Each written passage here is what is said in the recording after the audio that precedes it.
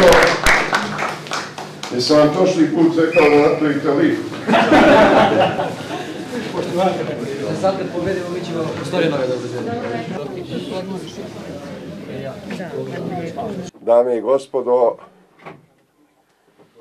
za ovih 11 meseci ja neprekidno putujem kroz celu Srbiju, gostujem na lokalnim televizijama gde god se ukaže prilika i držimo javne tribine. Mi intenzivno seđujemo stanje u Srpskoj radikalnoj stranci i spremamo se za izbore. Zadovoljni smo onim što smo postigli za ovih 11 meseci, ali to nije dovoljno. Radimo i dalje.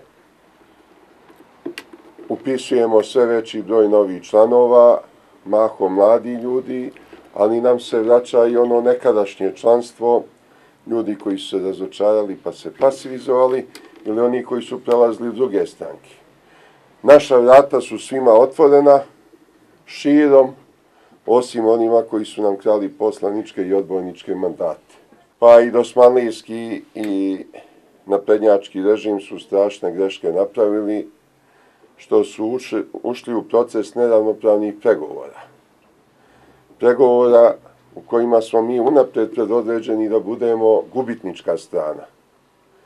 Pošto zapadne sile još vode glavnu reč na Balkanu, ne u onoj meri kao što su vodile rat, ranije pojavio se i ruski faktor, trebalo je zamrznuti taj konflikt, pa čekati povoljnije prilike da se vode pregovori.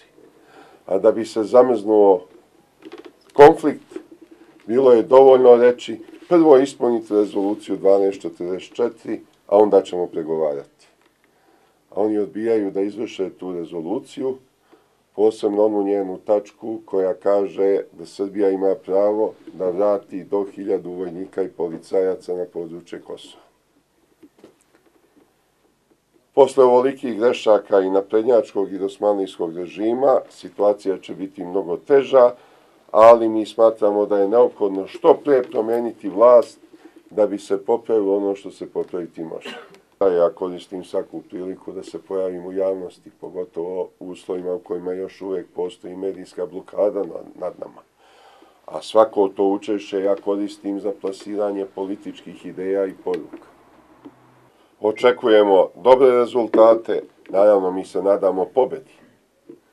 Pošto je možda još rano za potpunu pobedu, očekujemo veoma dobre rezultate, krajnje je vreme da se srpski radikali vrate u Narodnu skupštinu. Morate priznati, ne vredi ta skupština bez radikalskih poslanika.